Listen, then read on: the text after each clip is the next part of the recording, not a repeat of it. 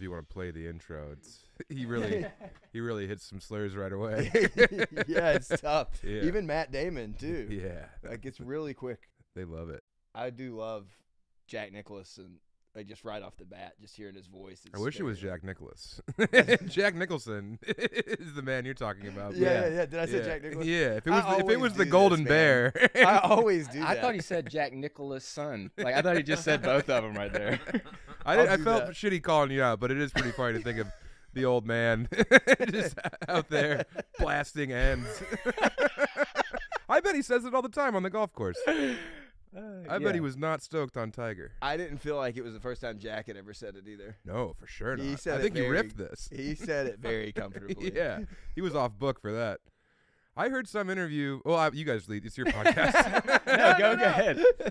well, there's the scene in here where he, uh, it's like really early too, where he shoots the person in the back of the head on the beach. Yeah. Yeah, and he said, I th- I don't know what it was on, but he said that he like, they let him just kind of like riff, so he like said all those lines about like uh whatever it is where it's like you got to see, you got to like get help or whatever. That his his like number one hitman calls him out because he's like so grotesque, and I just wish I knew like all the lines that they let him just kind of say, you know, when they let him go off book. Oh man, I love that line too when he's just like, "Fuck, she fell funny," Exactly, that's and his then line. he starts laughing. Yeah, yeah. And as a comedian, I was like, "That sucks." Like Mhm. the last thing she ever does, she gets a laugh. Like Yeah. that's how I want to go out. Oh man. yeah. Like that guy just had it. I'd love to go down just in the mud on a beach.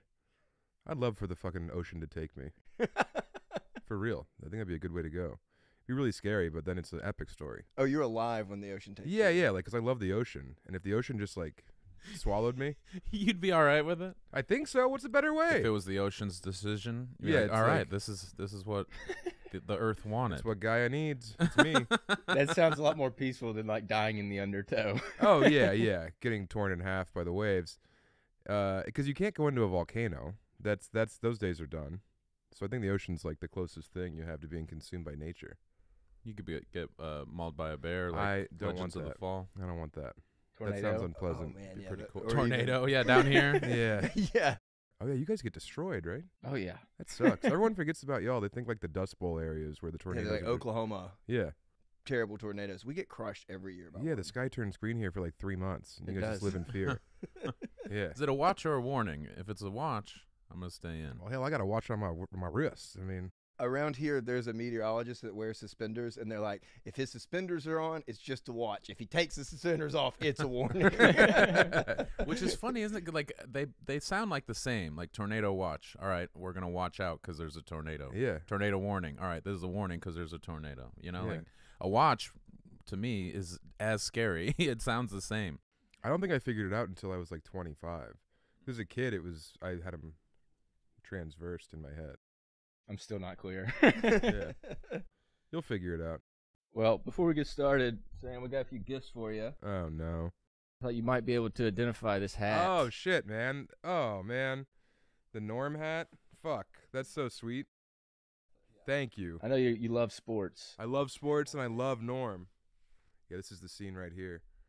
Yeah, this that's a fucking great gift. Thank Yeah. you. Yeah, fucking Wes told me you guys did really good shit, like gift wise. So this is excellent. Thank you. well, this is just the first one, man. Yeah, no, I'm already. We're, that's gushing. we're easing into it. Yeah, Did this Norm? is amazing. Uh, did his book? Did it influence your book at all? I don't know if it influenced it, but I, it was the best novel I read that year. Uh, it was amazing. I don't think anyone had the expectations that he was going to put out like a postmodern Russian novel. um, it was very self-aware and like perfect. And yeah, I mean, reading it's good, but then the uh, the audiobook's better because he reads it. I'm an audiobook man. Yeah, you should. That's the best way to take that book in because it's all in his cadence and timing. So jokes that you miss when you read it are Mhm. like the subtleties of the page really pop when he speaks them. No, I loved it. He was the best. I mean, he had a massive influence on me on stage. I can't say his book really like. I think I was influenced by the same books that influenced him. What books?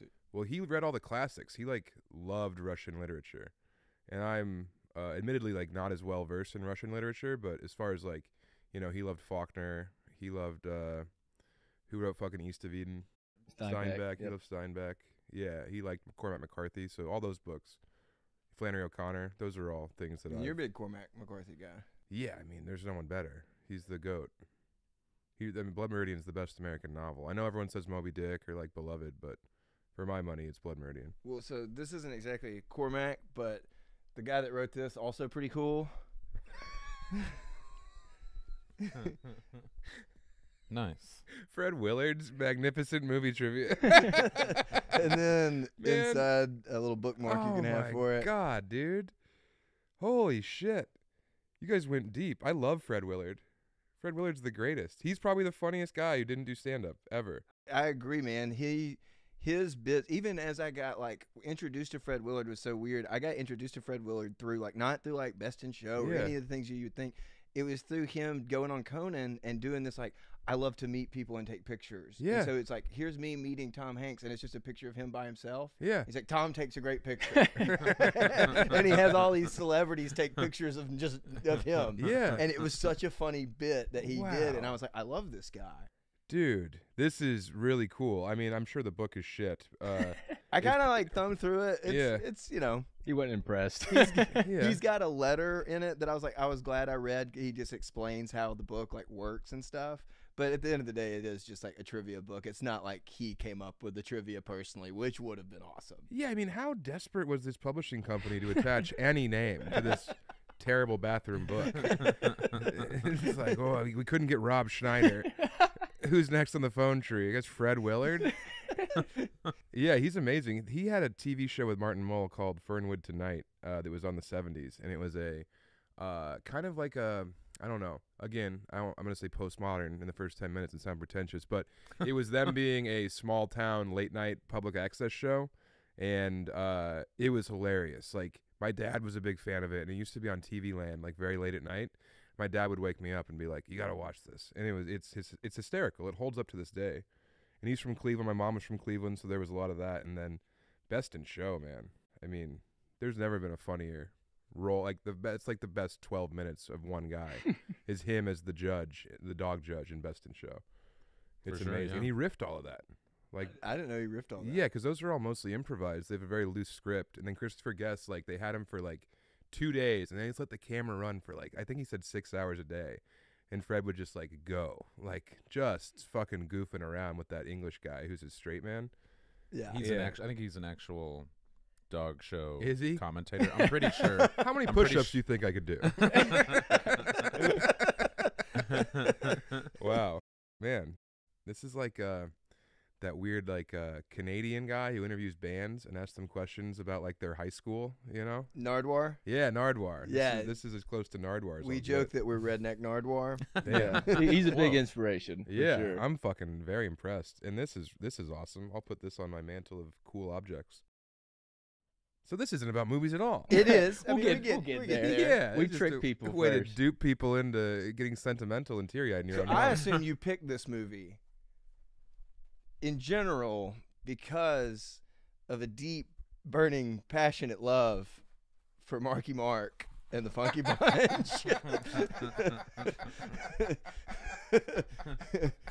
I need money. yeah, what? I don't remember that. That's making the mantle. Damn, to have the balls to put this out, dude. when did this shit come out?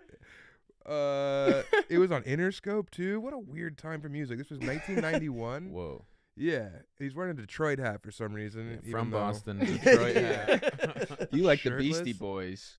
I mean, your band is called the Funky Bunch, and you're shirtless, begging for cash. it was definitely of all the albums I was looking at. I was like, "Yeah, this is the one I'm picking." Wow.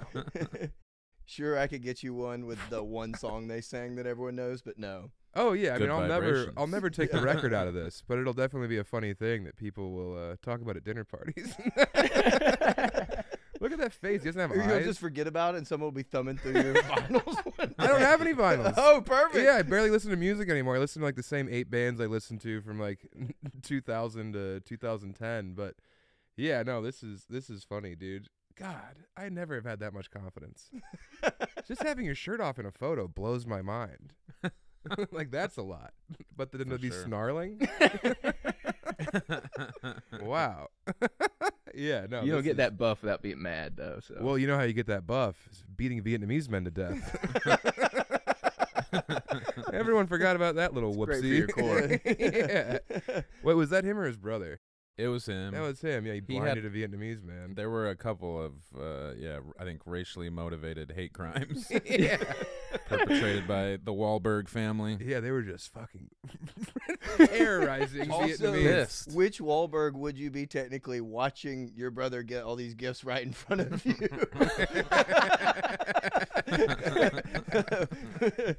um, yeah, this was produ- produced by Intense, N dash tense, Mm. which is what they would say a lot, They're describing their antics from the night previous. Yeah. I need money because lawyers aren't free, right.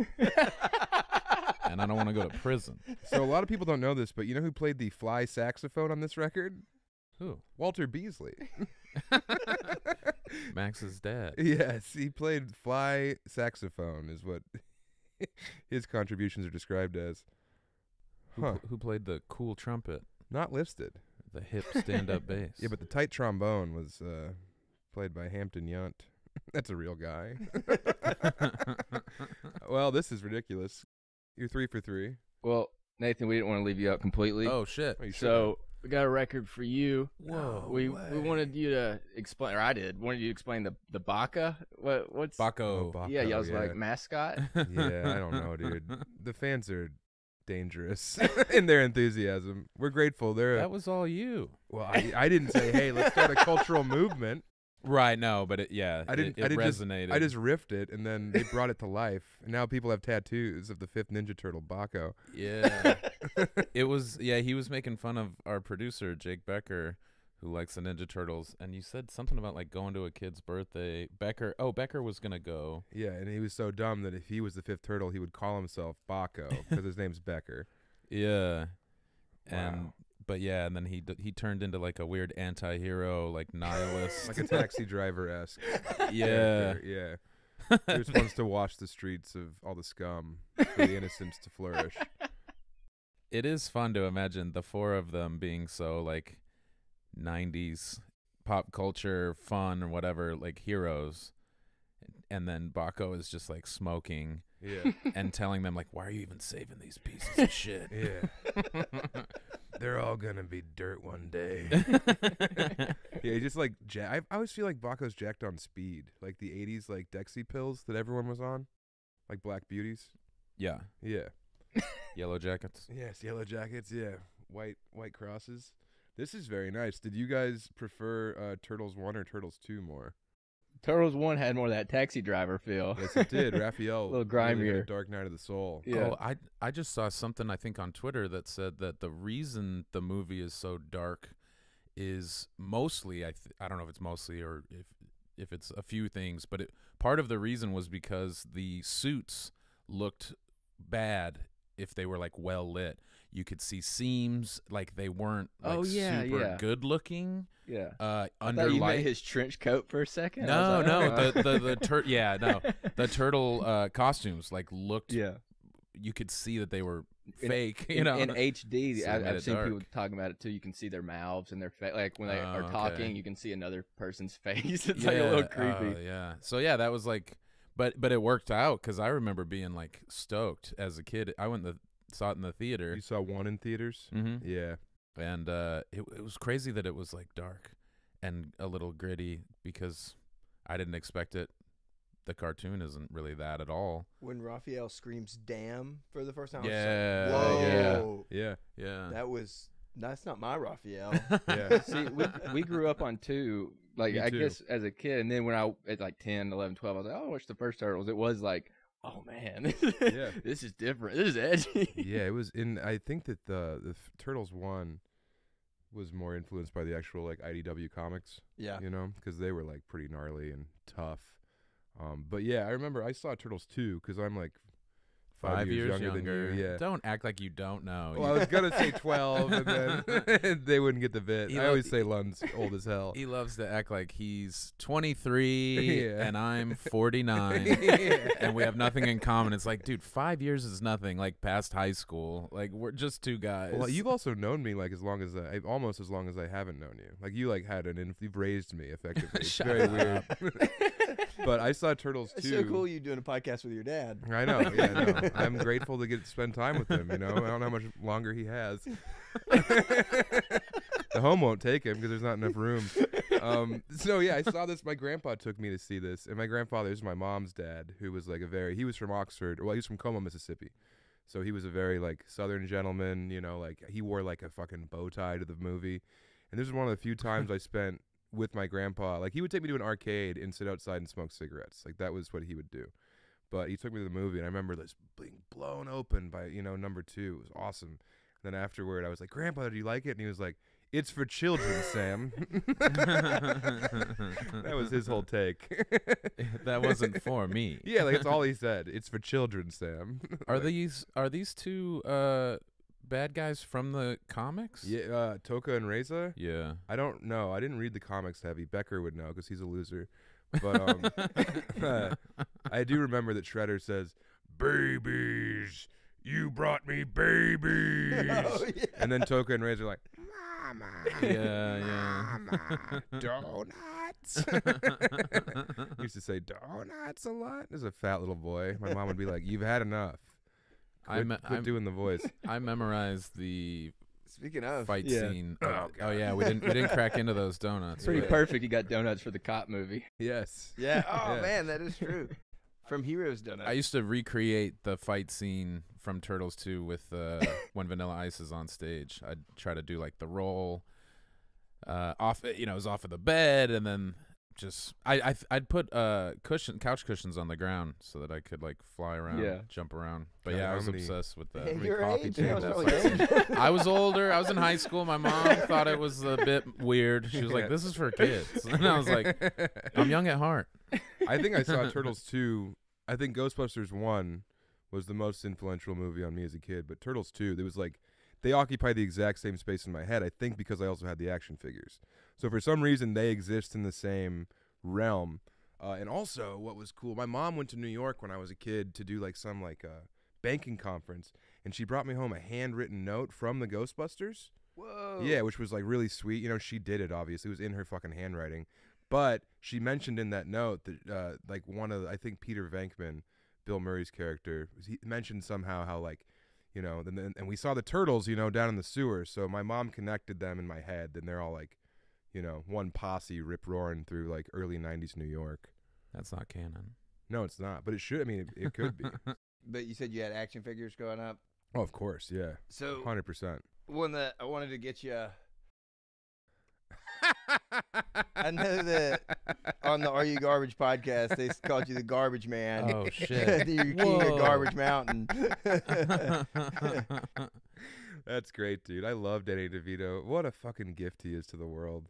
Truly, it's crazy. Like that he's still just doing Always Sunny and all these ridiculousness. And Yeah. he's like 79 years old. Yes, It's he's old like- as hell. It's so awesome Yeah. to see him still just banging it out. He is so fucking funny too, and everyone forgets that he like like Taxi was a huge part of American culture forever, and like he directed Matilda. Uh, yeah, he's.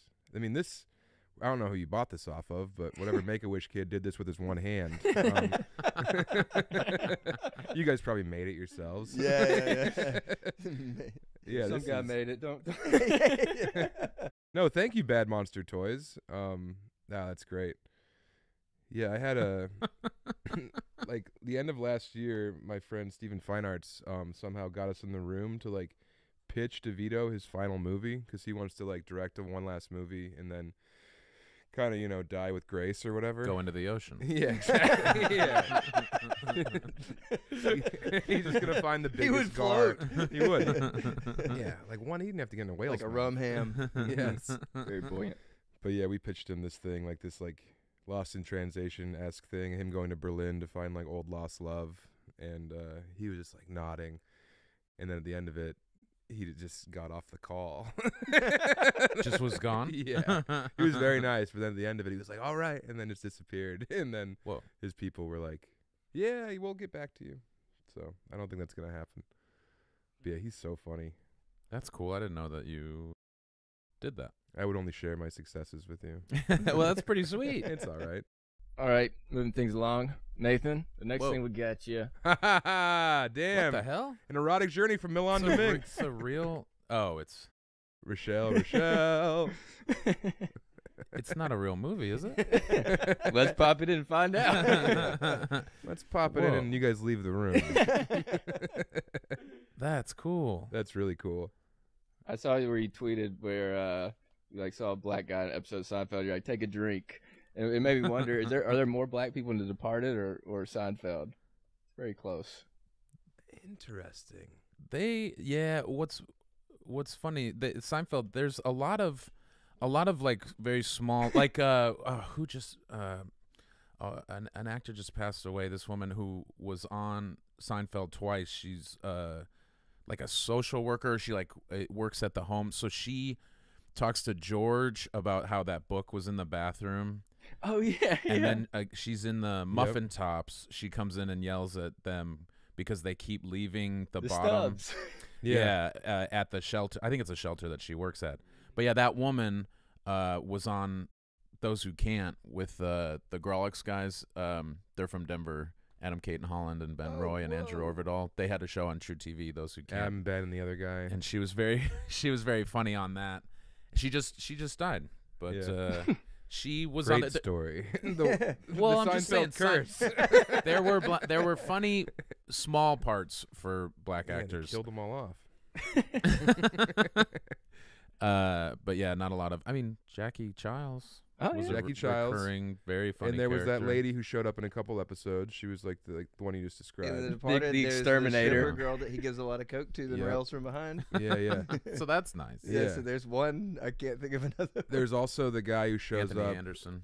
Oh, Yeah, God! Wow. He was in it How did I forget that. a few times. I, yeah. I always forget that he's in it until I seen him because it's such He young wasn't. Anthony Anderson. yeah, but it's he, like he wasn't. it's in like fresh off yet. Kangaroo Jack Anthony Yep. Anderson. Like it Mhm. really. The movie's so long too. I I, I keep forgetting he's in it. Like Yeah. anytime Yeah. he pops, I'm like, oh yeah.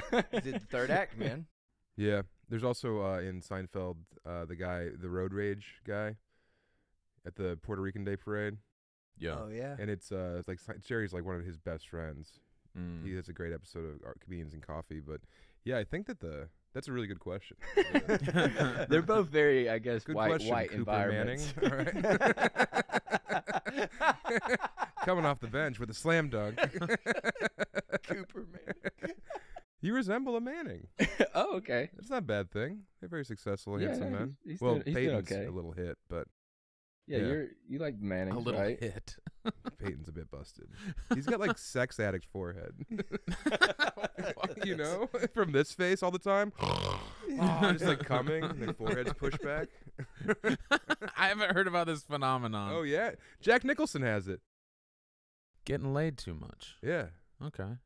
Damn. So did you guys just have this on hand? I mean, what the fuck?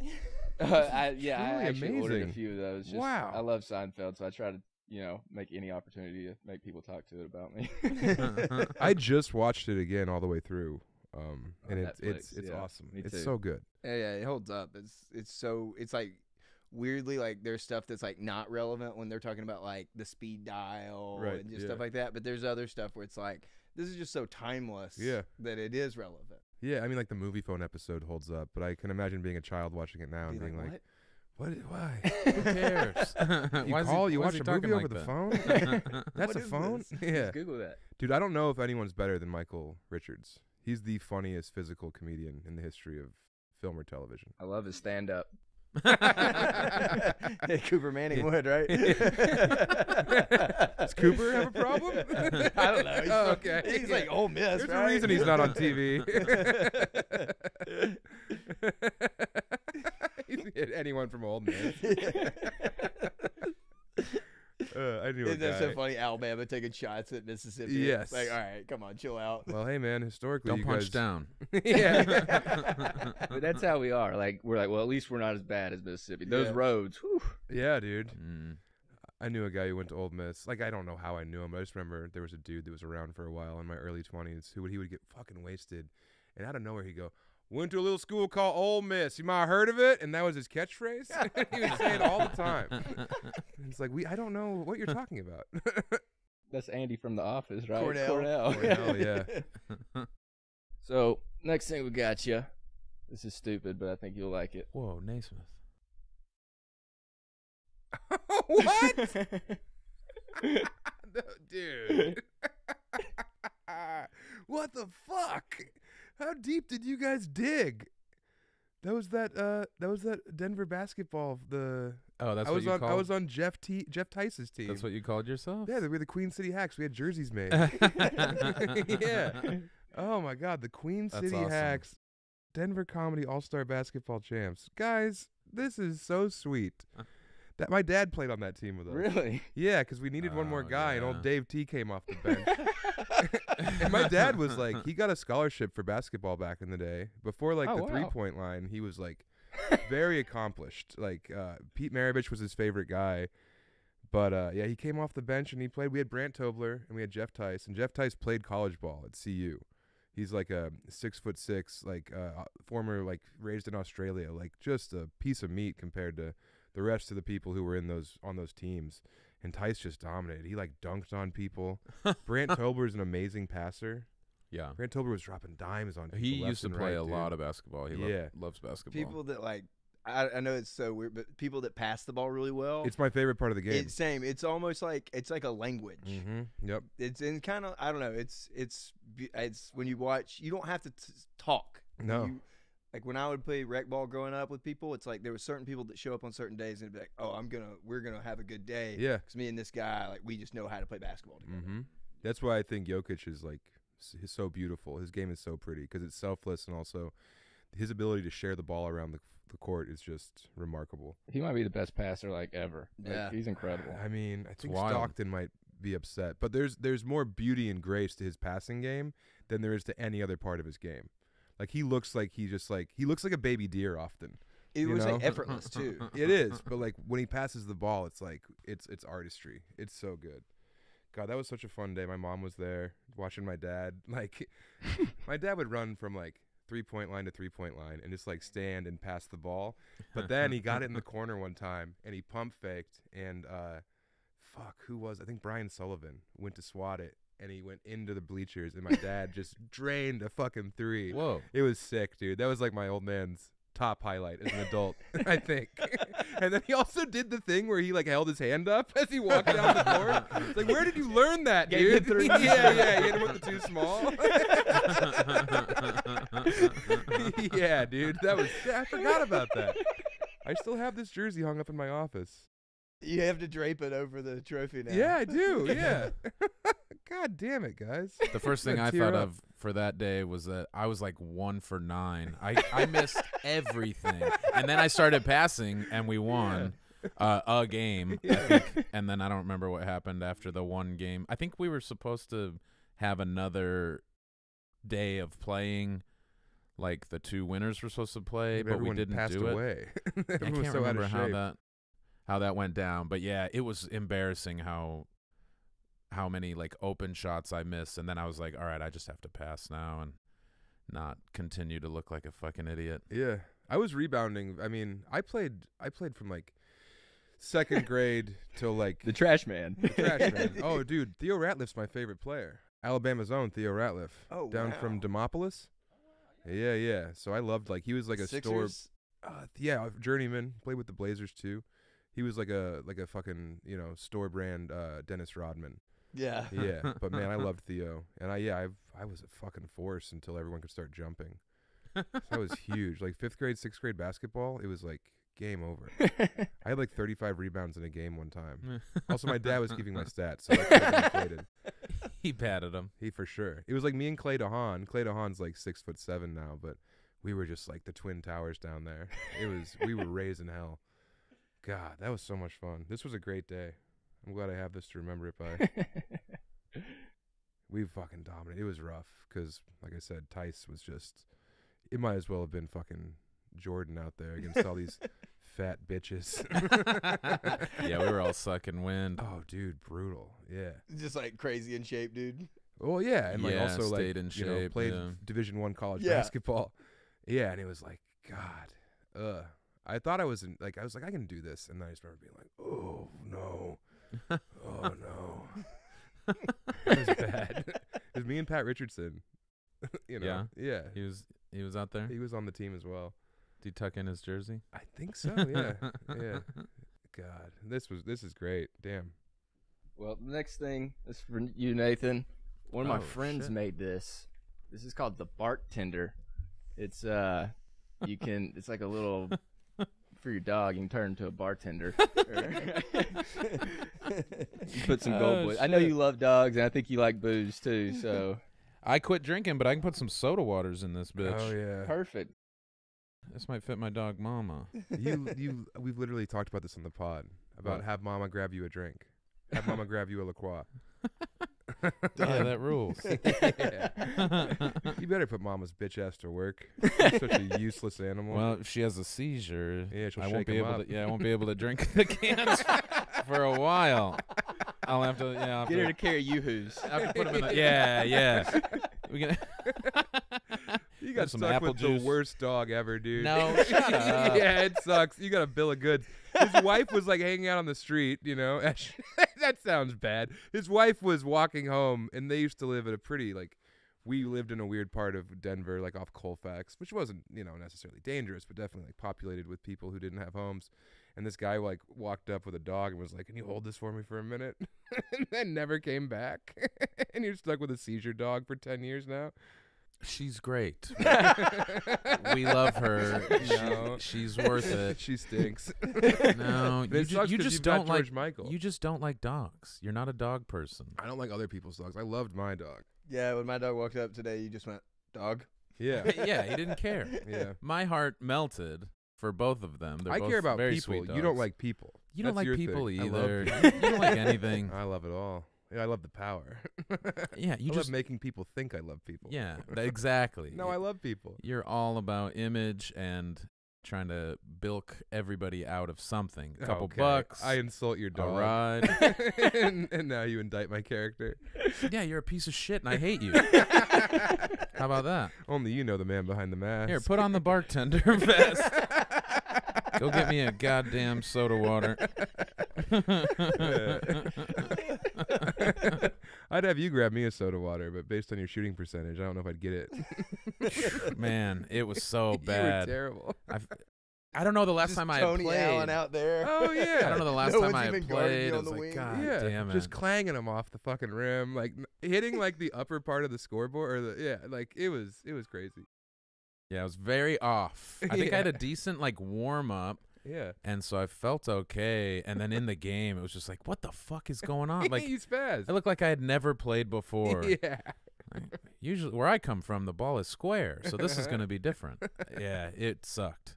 But then I went into Jokic when I started passing, and Yep. it was nice to facilitate. I always liked Brant Tobler, but then I saw him like between the legs, like he went through someone like the opposing defender's legs and like behind his own back, and it was like, oh, this guy's awesome. Yeah, played a, he played a lot of ball. yeah. So to bring it back to the movie, last thing we got you some coasters, Oh, my wife's gonna lose her little fucking. but also felt like we needed to get some cranberry juice. What are you on your period? that, yeah, that just happened a few minutes ago. Yeah. There's Yeah. guys you can hit and there's guys you can't hit, and he's almost a guy you can't hit. He's not quite a guy. He's not can't quite a hit. guy you can't hit. Yeah. We were talking about like last second, like, oh man, we should have brought some breakable glass.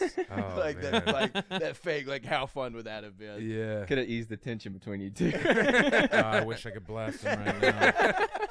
we we had fake bottles made for uh, you know High Plains uh, Comedy Festival is in Denver every year, and me and him and uh, two other guys used to run a show together, and we have a show every year on the festival, and we always wanted to have like a fun, crazy open, you know.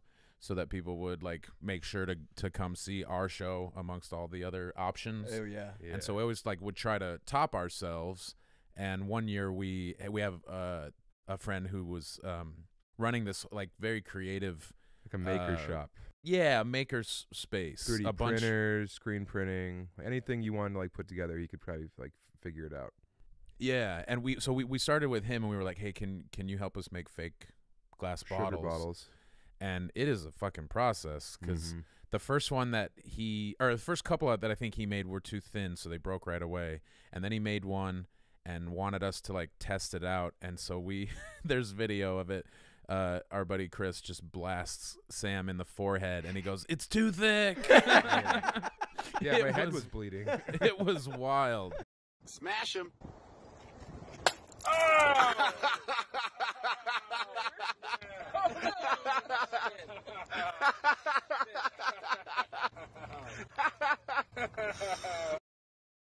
Good for sure. Oh no. Okay. Sorry. That's all right. That wasn't very satisfying. I remember eating some of that glass, like seeing what it tasted like. It was so gross. Not it's just- not just not sugar, just It turns you out. psycho. Yeah. of course you eat it. Yeah, yeah. My mouth. I gotta know, man. I gotta know. But yeah, that was a fun. We ended up having probably like eight of them for the show. I thought you meant you ate them. Yeah, we He could, couldn't they were stop. they were gross, but we ate them. this tastes bad, right? And it was like handling the Once nuclear- You pop, man, you just can't oh, stop. Oh yeah, those bottles. Woo. Sugar is addictive. We handled him like a newborn too, because we were so worried we were gonna blow our very bad open. If we didn't have these bottles, we didn't have enough jokes to like back up. so yeah, we it was It's very carrot delicate. top. You can't lose your act. Oh yeah, yeah, and it was like also like, are they gonna melt? It was it was very. Was that the year we had Stressful. the motorcycle on stage? No, we had the band. Oh, the band. Yeah, that was that was a good. That was. A We had a band behind a curtain, and we said that we couldn't. Usually, we'd come out to Mississippi Queen, and uh, uh, I guess a big part of the the the first few years of our opening would have to do with uh, us not being able to come out to the song for whatever reason. And that year, it- we said that there we had gotten like a cease and desist, and then uh, Bobby, the fourth uh, member of our group.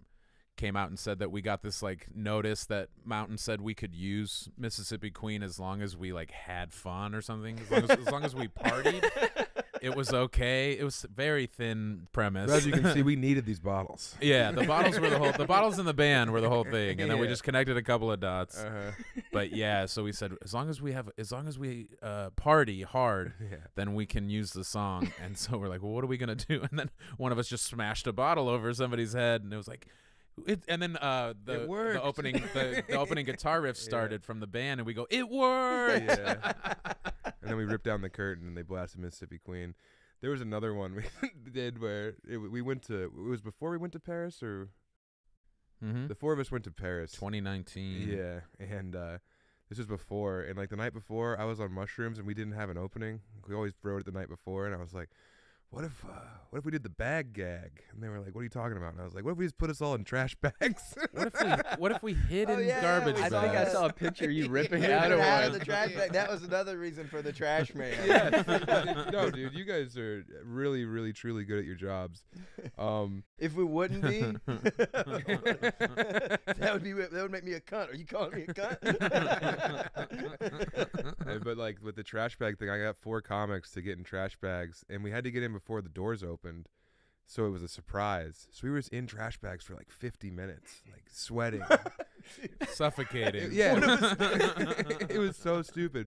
I remember they came over finally and like poked holes in the bags. 'cause There's like these four young comics who wanted to be on the festival, so we got them in these bags. And then when we came out, it was like when Jim Carrey comes out of the Rhino in Ace Ventura, because we were just like soaked, like just sweat plastered and dripping. It I'm was picturing gross. Frank coming out of the Yes, couch. it was that. Yes, Yeah. yes. Yep. Bingo, Trash man. man. and everyone freaking out at that party. Is there a man in that guy? Sam, on uh, your audiobook, Mhm. I love audiobooks. I was I, I was listening a little bit of it, but I was curious. Like, were you surprised by any of the performances, or like, how did you go about get, getting those? Did you just call those guys and I called in favors from people I barely knew, but luckily, like like Bert Kreischer, like really wanted to do it, you know, um, because he loved the book. It's like the only book he's ever read, probably. Mhm. So I, that was like kind of like one of the smartest things I've ever done. Honestly, is like get all those different comics with different demographics and different fan bases to come together to read those chapters. So it was like a marketing ploy, but uh, the audiobook definitely suffered from the different levels of literacy. Uh, Dan Soder did an amazing job. David Gborie did an amazing job. Um, Chris Gethard. There's people who like really stood out who've read before. Stanhope did a great job.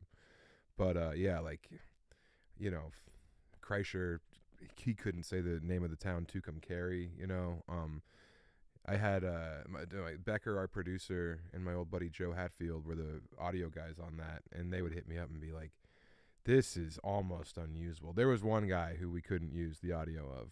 Oh who's- yeah. who's been on your podcast. Oh really? Yeah, yeah. Interesting. Um, yeah, so I definitely if you like if you like reading, I would I- we figured out who it is. I Yeah, the uh, the New Orleans public education system, you know. Um, but yeah, if you if I, I wrote a book and if you like reading books, read it. Uh, you can buy it on samtallent.com. Or if you are like more of a passive consumer of content or you like podcasts, like I think that the podcast demographic, which is how I mostly promoted the book, definitely like the audiobook because they get to listen to their their favorite comics, like you know, read it. But if you're like a fan of like prose and literature, for the love of God, don't fucking listen to the audiobook because it's uh it's rough in spots for sure. I've only I got through Dan Soder's part so far, Mhm. But Yeah. he just like I was like wow, like I was Oh, yeah. really impressed. I, I felt like he definitely put in extra effort. He really did. And then God bless him, Tim Dillon did me a huge favor, and you can tell he's just like blasting cigs and rushing through it, you know. yeah, no, I didn't really know a lot of those guys that well. I mean, I knew the majority of them, but like, yeah, like I was blown away that like Bert and Tim were willing to do that. So That's super grateful. From an outsider's perspective, it, it seems like comedians are you know way closer sometimes than Ma- Yeah, maybe y'all are. I mean, I just didn't know Bert. I I Okay, yeah. literally met Bert. I did his podcast because Stanhope talked about the book so much, and then he got it to Bert, and Bert was like, "This is amazing." Then Bert started talking about it on his Instagram, and then I went on Bert's podcast just because of Stan. Like everything came from well, Mishka Shubaly initially, but then Stanhope just like Marin, you know, he gave it to Rogan. Like all this stuff happened just because he was so good about it. But I didn't know Tim Dillon at all. Like uh, I knew his producer Ben Avery, and I was like, "Hey, do you think you could get Ben to, or Tim to do this?" And then he finally did it after like three months of cajoling. And then from that, I got to open for Tim, and when he came to Denver, and then Tim took me to fucking you know every English speaking country in the world opening for him last year. So yeah, a lot of really good things came from that book. Yeah, because you were gonna do the upstairs comedy, Mhm. and then you ended up going to Europe, and I was like, man, he picked Birmingham, UK over Birmingham, Alabama. What an idiot! yeah, everyone was very nice about it, except for uh, there was one person I think in Atlanta who was like, "Oh man, seriously?" No way. And I was like, "What do you mean seriously?" yeah, I'm doing like the O2 in London for three nights. Yeah, I'm sorry, dude. Yeah. I can't do your Wednesday at the brewery, man. no, I'm kidding. It, that wasn't. It wasn't the Atlanta guy. It was a different guy in the South. The Atlanta guy was actually very nice. I can't remember. Anyway, yeah, I've. It was Figure it out. no. It's probably Richard Lockhart. Take the time. oh hell. Come on, man. We got a good crowd. We brewing. sold 11 tickets. What are we going to do? I'm going to go hang out with Richard tonight. yeah, and y'all are going to Pensacola. I'm going to Pensacola. He's going Sam's to stay going. in town. He didn't let me come to Pensacola. No, you said it was booked up or whatever. They and booked every comedian in Pensacola. in that That show. does not surprise me. yeah, it's a real Yeah, Iowa so I'm gonna- lineup. Where's it? Where's it at? I'm gonna be here. Vinyl. Okay. Yeah. But he's going to stay and hang out with uh, Wes and Kristen Rand and their babies. Awesome. Yeah, I Yeah. hadn't seen them in a while. I, Kristen was at um our our friend's wedding, uh, last July, but I hadn't seen Wes and, and the kids. I hadn't met their their youngest, and so They're hung out with them a little bit yesterday Yeah, in the that- in the green room. When you text me, you're like, she showed up. It was like, this is so much more important than any podcast. Like, dude, the life is so much more. Do that. I appreciate that sentiment because I needed, like, that was what was most important was us seeing Rand and the kids. you know? Absolutely. He probably wouldn't have been able to see him except for then, Yeah. except for yesterday. So I'm glad that worked out. And I love Yeah. Kristen too. I mean, she's just her and Wes are just the best. dude. Kristen Rand at our buddy's wedding was just the life force of this thing. she was laughing and screaming so much her voice disappeared by like the second day.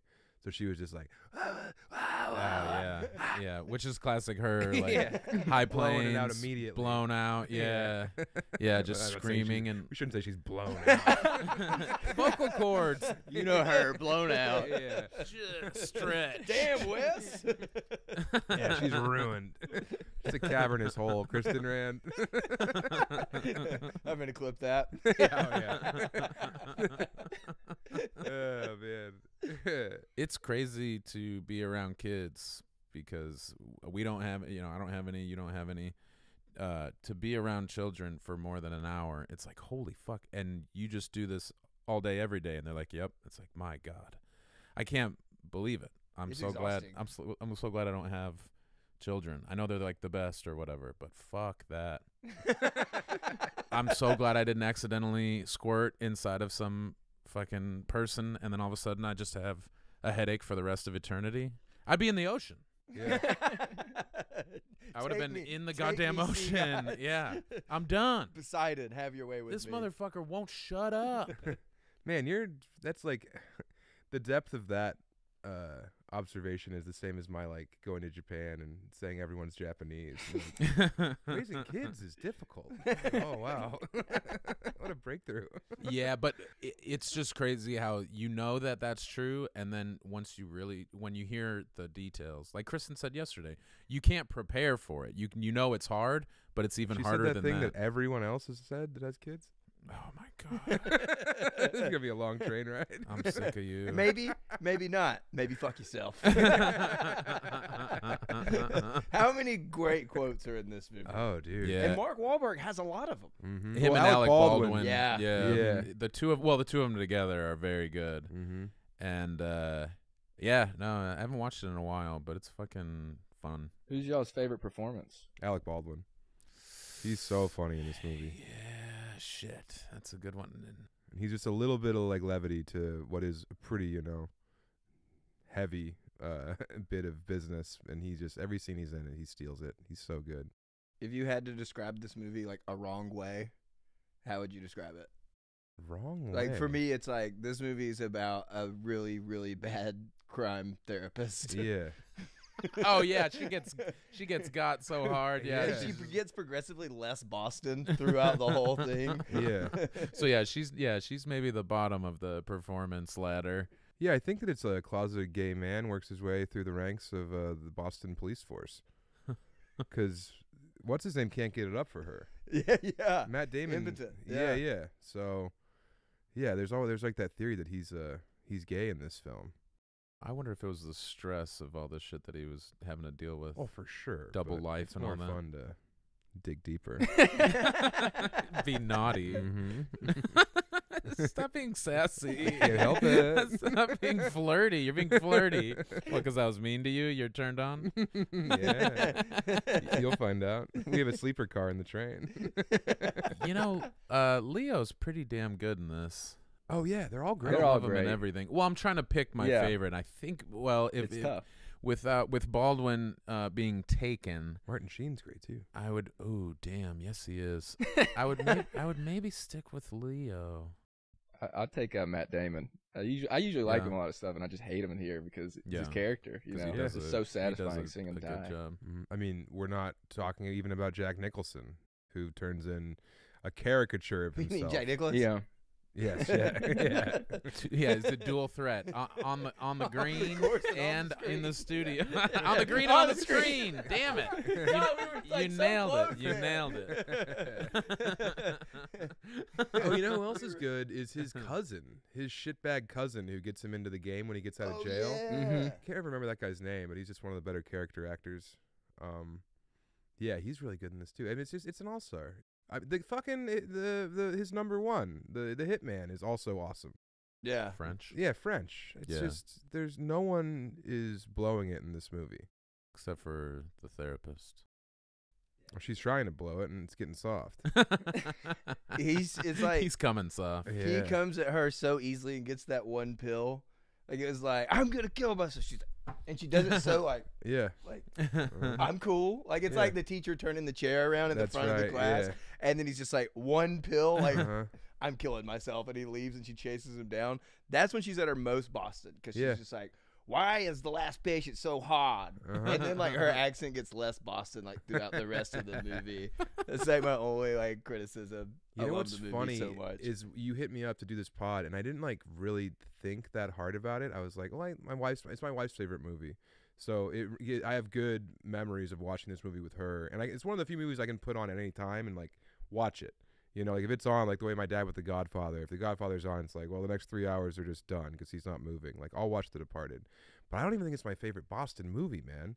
I think The Town is like honestly my favorite movie. Sounds like so good. Jackass and Borat, like those are the best. Obviously, we can't even argue about that. Obviously. I mean, they're the best things ever. This is a literary man. Yeah. I mean, there's nothing better. Those are pure hilarity. I saw you were wanting Yeah. to get a screening to Jackass 4. Did you ever pull that off? I did not no, but I did see it in theaters opening night with like a bunch of adult men, and then there was like dudes with their kids in there, and we were like grabbing the people's shoulders in front of us like strangers. It was like when the Undertaker comes out and like an old black guy and a little white kid turn to each other, and they're like, ah, you know. That was that was me at Jackass Four, just like screaming all the time. me, David Bowie, and I was Creasy, just like, ah, ah.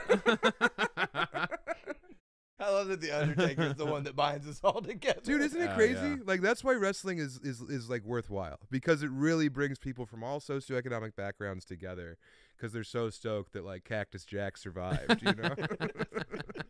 I mean, it's it's it's a good art form. It's a very American art form.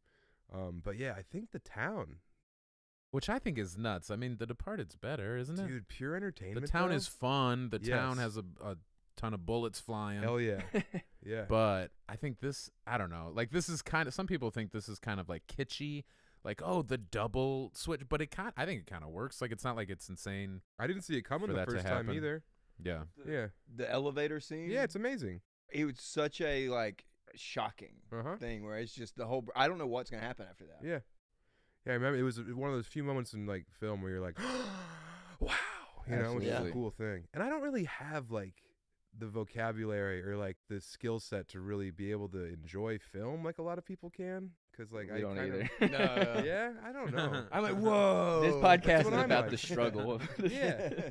Yeah. All those three guys just died. Yeah, that's me watching a movie is like, oh, so like when I say like the town, it's because that movie's badass. And also, I watched it at a weird part in my life where I just got back into smoking weed, and my buddy Rand Barnaclough, who's hilarious from Cincinnati, was staying at my house, and my dad was staying at my house, and uh, Rand came back home, and I had a weed pen, and I had a fucking uh, Juul in my hand. And he came home like after shows. It was 1 a.m. All the lights in my house were on, and the town was at like 99 volume. and Rand said he heard gunshots from the street, uh-huh. and he came in, and I was just sitting there on the couch watching the town at max volume with all the lights on. And he came in, he's like, "What the hell are you doing?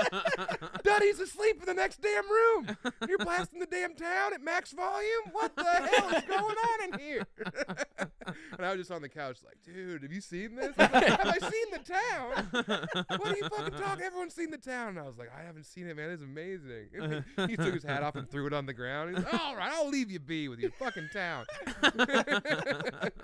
all the lights are I'll on because you you were be. scared. I love all the lights on in the house. You know what might be a bigger uh, shock than the Mark Wal- Wahlberg shooting uh, Damon at the end is Sheen just splatting on the fucking Yeah. ground. hmm I I guess you could maybe assume that they would kill him, but for him to sh- Yeah, for dude, just- to just, just out of nowhere, like oh god damn, yeah, and the blood like splatters blast on the Leo. yeah blast them. Yep. I feel like there's a lot of movies, like Tarantino movies, where everyone dies at the end, but you don't really feel it emotionally. Like No. these, I don't know. Yeah. Every death, even rewatching it, it's kind of like we said the elevator scene. That was the first time I'd seen something where it was just like, "Are you kidding me? Like the guy, my guy that I'm rooting for, is he's gone now." Well, Even Anthony Anderson Yeah. made me so sad. Yeah. like, 'cause Right, it was he- just like, because he was damn, man, like yeah, because he fucked up. Mm-hmm. He was just being a good, you know, friend. Really. he, yeah, he didn't know enough to yeah, too sweet to realize what the hell. Yeah. Yeah, that's right. Too sweet. And it is cool when he when he falls off that building because it's like that's his only doesn't lifeline. fall. Disab- oh, he's when he plummets, when he's tossed. you It think was he, a suicide. you think he killed himself? I'm out of here. I'm so sick of this shit. They're getting hairy. Where's the ocean? God damn, it's too far away. I'm just I'm just walking. Carry me to the ocean. Take me Poseidon. He's like that lady last night on the patio. what the fuck? Oh man, yeah, this woman was hilarious. She was so drunk and was just like uh, so oblivious to what she was asking Sam about, like. How do you know when to get up? She acted like he had gone very long. Like Yeah. the show should have ended, but he kept going. It was such a weird take because he had done well and he didn't do like a bunch more time than he was supposed to. So like no basis in reality for her questioning. And then she caught herself like no like no drunk person ever has before. Yeah. She realized she was not making sense and then she just starts berating herself. yeah. It went from like, so how do you, like how do you know when it's over? Like you just you just feel it. Like when do you know when it's time to get done? And I was like, well, it's and that this was like three minutes of her saying that simple statement, and I was like, you just it's you, well, yeah, I do have a certain amount of time. I'm supposed to do a certain amount of time, and then she just goes, "What the fuck am I doing, man? What the fuck? God damn it! what the fuck am What I What are talking you about? talking about? God of course damn there's a of course there's a runtime. Like it was so it was so funny that she caught herself. She didn't double down. She didn't like leave. She just starts taking herself to task. Stupid, stupid, stupid. What the fuck, Mandy? Yeah, it's God. that Mandy lady. You do stand up around here. You probably know Mandy, Wait, who? the fucking drunk woman who comes to all the shows. She I had an auburn umbrella. Yeah. Oh, okay. She's just she's not a comedian. no. I don't okay, think I was like, no, I don't know it Mandy. was it was so funny. Unless she's new, but yeah, okay, I, I kind of know who you're talking Yeah. about. She, but yeah, it was the beginning was funny too because she really was like, she sounded confused because she it, she was making it sound like Sam blew it and did way more time than he should Yeah. have, and it was like according to who? Like, were you sitting there looking at your watch, being like, we were supposed to get out of here ten minutes? Like, yeah. she had no real reason to think that. Honestly, Yeah, the that was runtime wasn't. It was a good run show. Like it wasn't Yeah. long at all. No, I'm very yeah, it was conscious weird. about like if the show feels like it's going long. Yeah. Like I will just do 45 and give them a better show than like do more time and let it kind of suffer. But yeah, I did like 56 minutes last night and it was going well. And oh, right, you weren't great. struggling. Yeah, they yeah. weren't. The crowd wasn't like. Yeah, it was funny, and then it was funny that she realized that she was in the wrong or whatever. And then What the she fuck am I just talking about? starts- She just starts yelling at herself. yeah, it was awesome. What I've never the seen hell? Reed Ethan from our office came Yeah. and brought as a date or whatever. And Oh, so he yeah. this girl with him. And there'd be times like sh I could tell she wasn't like someone that's done a ton of comedy, like a comedy show, because she kept being like, "Oh, you can't say that. Oh no," like and saying stuff like that, Oh, and, and, like, but not loud enough to like heckle, but like loud enough to like the rose around her. And so, and she'd like be like, he'd start laughing. She'd be like, "You can't," laugh. and he'd start laughing harder. Yeah, and then she awesome. would inevitably start laughing. Yeah. because he's like, he's not giving up on Yeah. what like this is funny, and it was cool to see someone that like. I could tell if she like wanted it to be bad, it could have been in her mind. But like y'all just like were so good, it was just like, all right, Uh, that's good. you, I'm gonna keep laughing through you talking, and she eventually joined him. Yeah. Huh. I'm glad. You glad. can't say that. Oh my lord. My God, you can't say that, let Hush alone my into puppies. a What microphone. What about that pick me girl that was like, I like bull peanuts? Yeah. what a weird hill to die on. So that boiled peanuts bit is like a bit that I've I've done for like a long time, but it's only when I'm in the South. I can only do it in like you know Yeah. like fucking Alabama, Mississippi specifically. And it's just a fun thing to talk about, but it, it has historically gotten me in some hot water. I'm not gonna lie. When I saw that clip, I was like, I don't know about this guy. You guys love boiled I'm not peanuts. buying shit for this motherfucker. yeah, it's ludicrous. They're so I'm not gonna go shopping for gifts for this sack of shit. Yeah. I'm not Talking about my- 3D print a goddamn statue Those are, those, those are my peanuts, man. Yeah. It's Those are talking my about my. She tried to burn you. I could hear her when she said uh, that she liked him, and you said, uh, "You sound like you have some in your mouth right Yeah. now." And then you said something like, "What about something?" And she goes, "What about you wearing shorts?" Oh yeah. Cut me But to the core. Everybody was laughing, so it uh, did not hit. She didn't. She didn't score. On that it's, one. It's like some people should just shut the fuck up. yeah, have some boiled peanuts. Yeah, keep, keep it to yourself. Yeah. I can't wait to see the YouTube clip. Comedian roast this. Comedian roast. roast Heckler. roasted peanuts. Yeah. Roast over boiled peanut Roast- lover. Roasts heckler over boiled peanuts. Crowd is baked.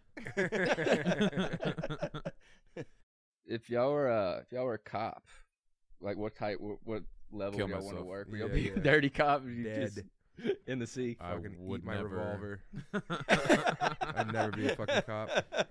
When I was younger, I remember thinking uh, like detectives seem very cool because you're like TV only shows, dealing movies. yeah well yeah and you're only dealing with uh with like murders you know as opposed to like jaywalking or whatever bullshit you have to do as a beat cop but uh yeah the detective thing yeah and th- and they are glorified but i think they are typically like they're typically like focused on you know they're they're not worried about number about like you know writing enough quotas yeah uh, I think there's a little more to detective work and there and a little more passion, and and you have to be smart, or else you're probably not going to get that promotion. You know, you're just gonna get transferred around or whatever and Yeah, just look like a cop. hidden. Yeah, Yeah. and then you don't get that that promotion. But Being on the other side in movies like this, whether it's like this or Blow or whatever, it always looks so much more fun. Oh, for sure. Yeah. I mean, like being a dirty cop or whatever, I feel like that'd be so stressful. And then if you do end up going to prison, they just like ruin you because you're a cop. You have to be in protective custody the whole time you're in there. Like you're just in there with like child molesters or you're getting used like a fucking fleshlight, you know? Like it, it, there's nothing that entices me. And then like, you know, I also don't want to just protect capital for the wealthy people who own this country. yeah, it's funny how there there's so many older movies and shows where cops are like bungle, you know, just bumbling and like falling over their fat guts, you know. Yeah. and then there there's the law and Super orders cop, law and orders and yeah just so so many shows and movies Benson and Stabler, that make them yeah i mean uh, Detective Munch. I'm the guy doing. I love the Law and job, you're Order. The guy. Yeah, yeah. I forgot. I just messed that up. Yeah. Yeah. Like yeah, The Wire, same thing. It's like you watch that and you're like, I don't want to. No, police work is pointless. so No. much so just politics and I've also read way too much like Emma Goldman and Howard Zinn to ever want to be a police officer. What's your? Do you have a favorite part in this movie? I think that my favorite part is actually the line you just said about who am I I'm the guy to doing my fucking job. Yeah, who the fuck are you? Oh yeah. You must be the other guy. you must be the other guy Yeah, yeah, yeah. that is that's a good that is line. great Oh, uh, also there's a there's a part where like Alec Baldwin's just like goofing on camera. You can tell that he's just having fun. I mean, just, I think my favorite part of this movie is Alec Baldwin. Which is not a very good answer, but Yeah, no, it's uh, it's it's a slam dunk. I mean, eh, fucking Nicholson wearing sunglasses at night in this Chinese arms deal. It's ridiculous. and ridiculous and that Is it crazy bucket hat, hat? Yeah. yeah. we always do the the it's you know that gif too of him smiling and nodding Oh, all blown to hell management. no it's this It's oh, it's this. this. Okay. he's, when he's all coked i think it's in the montage when he's he just does that a lot. fucked I think. we do that to each other a lot just Dude, I thought it was anger management. You know, He does it he's in the that too. bar. Oh, like, yeah. like when he like walks over to uh, the girl, the Boston girl or yeah. whatever. Oh yeah, another Boston movie. Yeah, anger management, way better Boston movie. Yeah, Mr. Deeds. that's, that's, that's probably the goat of Boston films. Fever pitch. Um, so Van Morrison's cover of uh, "Comfortably Numb" in this is horrible. That's my only criticism. I think. Huh. I feel like he blew the budget on the Rolling Stones. It's just not. You know, uh, you're a music man too. comfortably numb. Yeah, I don't know. I don't think I uh I don't disparage it in the same way. I think it's okay. when he's used "Give Me Shelter" in Oh my this is the third time he's used it. He used Yeah. it in Goodfellas and Casino, Yep. Yeah. and then it starts out in this one as well. Yeah. yeah I think that He knows just what he like likes. bought the rights to that one song accidentally. when I you gotta get my purchase a money's song worth. on iTunes, you're like, Yeah. I'm just gonna use it because I already bought it. yeah, exactly. I'm Stre- saving stretch this two 199. bucks. yeah but yeah, it's uh it, it holds up, man. It's just a banger. Also, for the viewer or listener, the movie's on. I don't know. If, it's on in the background. You can't hear it because it's muted, but that's why we're like reminiscing about it as we watch it quietly. We're all just deeply gazing. Into Yeah. into the distance. That's why there was that half hour where none of us spoke. yeah. And also, Maybe like, cut these that out. they're objectively like hot dudes. You know, it's like you have Damon and you have Leo, and Leo is like, you know, he was my favorite actor until Robert Pattinson started fucking killing it. But uh, and my wife puts this on like when I she'll come home and be like, I want to watch Departed. I'm like, I'm gonna take a shower because I know what's about to happen. You're gonna get all worked up. Whoa. Oh yeah, it's like a lot. when did Robert Pattinson get you? Was that good time? Uh, so Good Time is amazing. Yes. Oh my god. Love that movie. That was the movie that I watched, and I was like, "Oh, I think I get movies. I think I've seen enough movies now to understand why this is so good." Fuck me, the Safdie brothers are the greatest. I saw Uncut Gems in theaters like three or four times. I would take people to Ooh. it. I'd Yeah, be you like, were "You got it. hooked. You got to come see this movie. I think you told me I had to go. Yeah. Megan and I went and watched it in the theater. It's amazing. Yeah. so fucking good." Good time. I think I thought was better. I don't know. Like more. It was more enjoyable. I think it's more of it's like a- stressful It- too. it's but an action movie. It's fun, yeah. but like Sandler and Uncut Gems. No, incredible. What the fuck? Incredible. Where the fuck did that come from? I know. No, it was very uh, impressive. Yeah. I mean, he was great in Punch Drunk Love. He was, but that was kind of like a Uncut fluke, I thought. was- And then he comes out in Uncut Gems, and it's like, oh, he's he should this is best actor easily. He should win every award, which I think they fucked him on. I don't think he even got nominated. No, I don't think he did. Yeah, they had to give it to like Hamilton two, Judgment Day, or whatever. They had to get it, give it to that guy with no head. yeah. Stirring performance as Uh-huh. a garbage can. I heard you talking about sports betting recently and just Oh, like God. Patrick Mahomes and yeah. as someone that's placed wagers, how does that parlay that it's like from the tip when it's like they've got to win the tip? Oh, sure. Yeah. That whole parlay, Yeah, I am It's wild. as a gambler, it's it's really the most on the edge of my seat I am. Even when he gets He shot in the head, I'm like more relieved than Yeah. like I'm like, oh, the parlay's over at Yeah. least. He's yeah. He said that that was like the scariest. He says something about how that was the one that the part of it that he was most worried about because there's Coin flip. yeah Yeah, Yeah. you throw that ball who in the air knows and how- it's a yeah. tip, like oh my god. And also, just- it comes down to like the ref throwing it correctly. You know, Yeah. the ref like leans it left or right accidentally, like it totally throws it off. We had a situation recently with the whole Mahomes uh, in the not last week but the week before, where he like hurt his ankle in like the like the second drive. yeah. And we, I sent him a bet, and I was like, "Can you place this?" Because I wasn't in a gambling state, and he, I had him over rushing yards, and I think the rest of it hit. No it didn't Oh, thank God! there was something else 'Cause I remember I was in. Oh, it I was, I was uh, in Milwaukee, and I was like watching that game, and I was like, "His ankle's hurt." I don't think Fuck. I don't think Trevor Fuck. Lawrence got the over on passing yards. Oh, yeah. Kelce scored and the Chiefs won the first half. b- Yeah, But uh yeah, it sucked when he when he went into the locker room. I was like, shit, even if he comes back, he's probably He's not, not gonna running the ball. fucking scramble. Yeah. and then last week his over was nine and a half, I took it. I was like, "He's gonna get this." He got eight, and of course Burrow ran for like forty yards. His was at twenty three. I, I, I was, ugh. Tough week. I love the NFL. I love football so much. Unapologetically, I don't give a shit whatever you want to say about football. But god damn it, sports gambling. I'm so glad it's not year round cuz I would Oh, definitely yeah. be broke, dude. It's it's such Yeah. it's such a problem for me. I don't want to say that. I'm struggling. yeah. As you're wearing a hat that's a sports. Norm loved gambling That's what too. killed him, man. He- he did, yeah. It wasn't the blood cancer. and like my lifetime is very skewed, like my lifetime wins and losses because I'll get hit up by people who aren't in legal gambling states and they'll like for a while I was placing bets for Shane Gillis and he would bet a lot of money. And my dad does my taxes and when he looked at my gambling like losses, he was like, Buddy, what's going on here? Are you okay? Like what the hell is this? And I had to be like, No, no, these are for this person and that person and all this, but god damn, it's not good. Yeah. It's Or one one thing that I did like is when you see the wins versus losses. I've won quite a bit of money, and then you give it back. Yeah, you give it right back. But it's not like I'm just losing every bet, and so I'm down. My deposit to win ratio is very skewed. Yeah. it's not Yeah. good. Yeah. But again, it's not a lot of money, but it is like 25 here, 50 here. Oh, I'm going to win it all back in the late game, 100 bucks and you're down like $200 for a Sunday. Then Monday comes around, you're like, well, That I was a can lot get of this fun. back. I can get this back. Monday Night Football. I'll just put whole 200 on like you know the Bucks minus three, and then you know Brady should be shot and put down.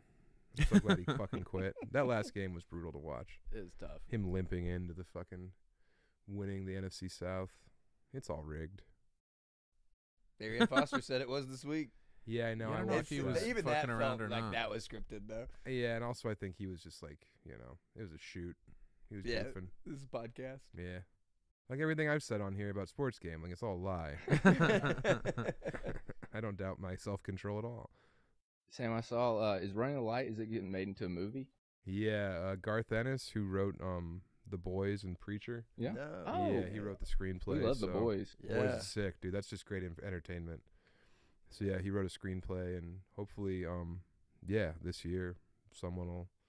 We sent it off to some people who were like very legitimate in Danny, Hollywood. De- Danny DeVito. Danny DeVito's gonna play. What if Billy he direct? Schaefer? He should direct it. Yeah, That'd be sick. that's why I wanted to ask if you have like a dream cast. Or who yeah, you- John C. Reilly. He Oh. would be. He'd be the guy. Oh, man. gosh. in my head he's the guy um because also he did like stand up when he would tour with uh, tim and eric like he did live comedy on stage and he looks like the guy and he can put on some weight and yeah i think he's my dream cast for billy ray schaefer He did the audiobook of Cuckoo's Nest or One Flew Over Cuckoo's oh yeah Nest. he did Yeah. Incredible. he did a great job in that and i always like laurie metcalf playing his wife i think laurie metcalf is like severely underrated the sister from roseanne The one Oh, who got, yeah, the one who yeah, got yeah. nine Emmys is Well- severely underrated. well emmy's it's tv bud who cares but I'm saying she was lauded.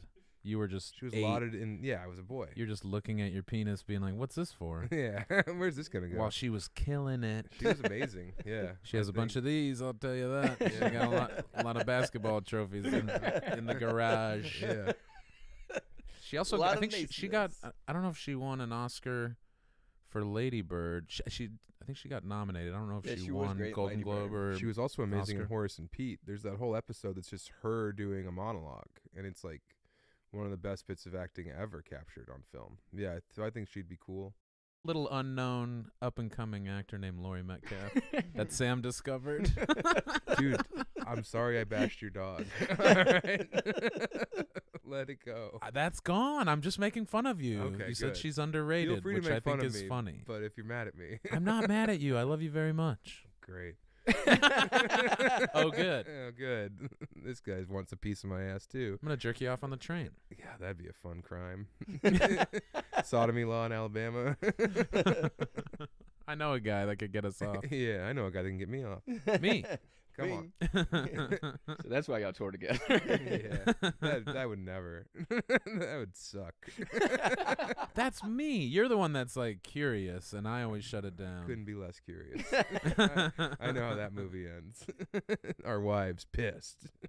It would be so gross. It'd be the worst. Me and you. yeah, Ugh. it would suck.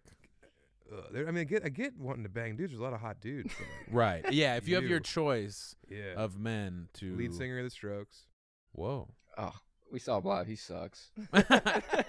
totally wouldn't give He that just guy has like no hand job or charisma. He looks like a lot of women I've had crushes on. I like, I like the andro- androgynous. Real soft features. No, Mm. very angular, hard features, and like callow face and like gray ashen skin. God, give me that.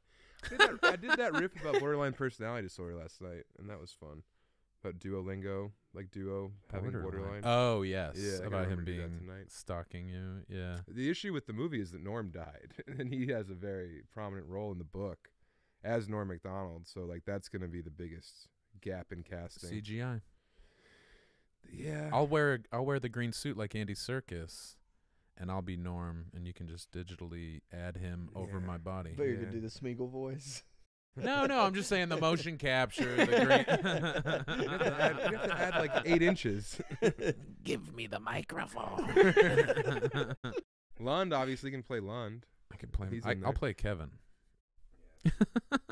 Wayfish rail of a man, Nathan Lund. But yeah, I think John C. Reilly would be very cool. That'd be awesome. Yeah, yeah. I don't know who else. He's just big. He has to be imposing. You know, John Goodman. Michael Madsen. I John guess? Goodman and Laurie Metcalf John together Goodman's again. Too old though. Too old. Yeah, he's Yeah, gotten He's like his face is all sagged out. old. Yeah. I don't see the joy in Michael Madsen. He would. I could see all the pain. Yeah. There's not a lot of joy in that Yeah. guy. He's he's a fucking broken dude. It's it's a very bleak novel. You can get it at samtallent.com. Well, I did want to say when we are talking good time, like seriously, re- listening to the audiobook was just stressing me out. Like when he's going through just his whole life, Yeah. and like I don't just having his own panic attack. I started kind of feel like, oh my god, just that same Safdie brother feeling. Uh, Well, that's very that's very flattering to be compared at all to their work. It is funny when people come up after the show and they're like, ah, and they like, you know, I have their card and I swipe it and I sign the book and then they're like, I've been looking for something funny to read. this I, I need a couple laughs. That guy said bought a book for his mom last night and Yeah. said that she had to put her dog down, mm-hmm. and so he was excited to give her something fun to read, and I almost was like, "Don't, don't let her read it. Give her a month," because that was That guy was hilarious. so like, that was ridiculous. He's like, yeah, your mom died, you know, and uh, today my mom um, had to put her dog down. Shut up. we're all going through it. yeah, man. Everything is everything, brother. we gotta take care of each other. that was fucking ludicrous. nice guy. Bought two books. Thank you. Thank you, Trip. one thing that uh, I heard you interview and talk about your book, and someone comparing it to like not being as Disney-fied as like Crashing, Mm-hmm. and just your response on it was so refreshing because I like I kind of hate Pete Holmes, so like so just whenever you were just talking about just your book being just not that and just Yeah. being raw, I was like, oh, I like this guy a lot because usually people are just more just more like, oh no, everything's great, like they don't want to talk bad about uh, anything or I anything. mean, I watched Crashing, but it was totally not based in any my legitimate experience as a comedian. He like goes and he hosts some like shitty one nighter for Artie Lange, and they give him five hundred bucks to MC, and it's like that's never happened because that money came from the club. If Artie would have peeled him off five hundred bucks and been like, "Here you go," like Ari Shaffir did, you know, it's like that would could probably happen. But the club being like, "You forgot your check," and it's like you know a life changing sum for him. Like that's never ever happened for some fucking one nighter in Poughkeepsie. So there was just a lot of it lacked a lot of verisimilitude that drove me crazy as a guy who's been doing stand up forever. It was well, yeah. I th- I I remember thinking it felt like it was condensed. Like you could have some of those things happen over your first ten years in Mhm. comedy, but he had those things happening to him like every other day. Right. And then like for uh like new co- uh, new comics can often be given good advice by an established comic or a, a gig or whatever, but he's like crashing on people's couches. Like Sarah Silverman's like, "Yeah, come stay with me" or whatever. Stay in my mansion. What He's are like you an open talking micer. about? Yeah, It right. would have been a lot, lot better if Artie Lange killed him at the end of the. Yeah, you should like finger. Pete Holmes should have woken up to Artie Lange like fingering his asshole. yeah. like, uh, sorry. Here's a, and then he peels him off the, Yeah, yeah. another five hundred. Throws it on his nude body. Yeah, Artie should have got him like stuck on fucking heroin or something. Like that would have been a legitimate experience. Or just yeah, he should have just been told to fuck off by everybody that he came across Yeah. instead of or ignored. You know, Right. just, just people just walking right That, by that was my favorite part of the show. Everyone making fun of him and just mm-hmm. the seller being in that world. Yep. but, and then Yeah. when it would go to his wife stuff, I'd be like, I'm fast forwarding this. Also, he's at the fucking table at the comedy cellar after like doing one. Sh- it was it was completely bullshit. I think it was like you know, Pete Holmes being like, "This is what could have happened if people didn't think I was a giant freak." he was very nice to me in Montreal. He hosted the shows. Well, just whenever you said all that, I just remember. Just, I was like, I like this guy now. I, it got me past the bull peanut comment. and even in your defense, man, even when we were watching that show, you were just like, ah, God, if I just if there was none of this Pete Holmes relationship Yeah. bullshit in the show, I could kind of deal with. it. Oh yeah, no, I mean I loved. Also, he has the Budweiser at the golf course. That's just such a classic like upper class trash move. Can of beer, Budweiser in the middle of the day. I like that. I like and he's Alec just Baldwin. gripping it and ripping it. Oh, yeah. the way he swings too, it's all belly. He's all red. Oh He's just yeah, constantly red. Wi- withdrawing You're talking about Alec alcohol. Baldwin. yeah. I don't care if he shot that woman. He's a fucking national treasure. His episode of Comedians and Coffee Getting Comedy or whatever is really good. It's really good. Have to check that out. Yeah. Well, I think we're about out of time here, so we need to we need to wrap it up. Get All you- right. get you out of here. Thank you for thank you for everything. Thank you for both y'all's time. Do you have anything you want to promote real quick? Our podcast, Chubby Behemoth. Yep. yeah, please check it out. It's Yeah. uh, a lot of fun. I think we do a good job. We do. It's just we're just being funny on there. I want to commend you guys for how good a job you guys did. This was great. I thought this. I mean, y- people ask you to do their podcast on the road, and usually it's terrible. And this was the opposite experience. I had a blast. Yeah. So Well, thank you very guys. much. Yeah, thanks for hanging out with us. We appreciate Sorry, I you. called you. Cooper Manning earlier. It's okay. Alright. I'm still more mad about the Bullapitas. well, they're a crime against your mouth.